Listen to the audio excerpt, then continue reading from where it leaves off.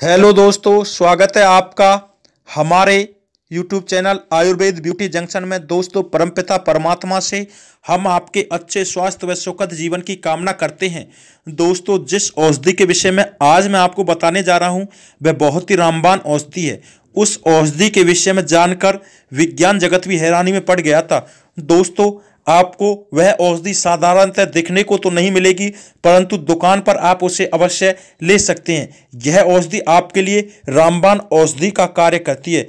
मैं आपको बता दूँ कि उस औषधि के गुण हमारे लिए बहुत ही ज़्यादा है, जैसे गले में खराश, गला बैठ जाना व सर्दी, जुकाम इत्यादि की समस्या, ठंड लगना।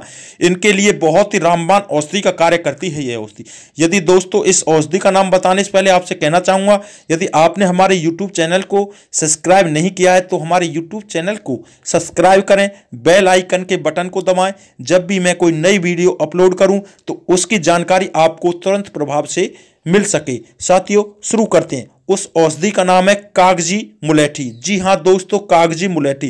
कागज़ी मुलेठी आपको अरावली की पहाड़ियों पर अवश्य ही मिल जाएगी, परंतु उसकी पहचान यह है कि जब आप उसकी लकड़ी को तोड़कर देखोगे तो वह आपको अंदर से पीली तथा मीठी मिलेगी। साथियों, अब बात करते हैं उसके गुणों के विषय में। जिन व्यक्तियों को गला बैठा हुआ है गले से आवाज़ नहीं निकल रही है, तथा गले में खराश है। यदि वो व्यक्ति कागज़ी मुलेठी को चबा चबा कर खाते हैं तो वह अपने गले की इस समस्या से बिल्कुल निजात पा सकते हैं। यह उनके लिए रामबान औषधि का कार्य करती है। साथ ही मैं आपको बता दूँ, जिन व्यक्तियों को सर्दी की समस्या है, बहुत ही ज़्यादा सर्दी लगी हुई है। यदि वो व्यक्ति शहद में अच्छी प्रकार से उबालकर कागज़ी मुलेठी का सेवन करते हैं, और तथा एक गिलास गाय का दूध उसके बाद लेते हैं तो वह अपनी सर्दी की इस समस्या से बिल्कुल निजात पा सकते हैं। यह उनके लिए रामबान औषधि का कार्य करती है। साथ ही मैं आपको बता दूँ, जिन व्यक्तियों को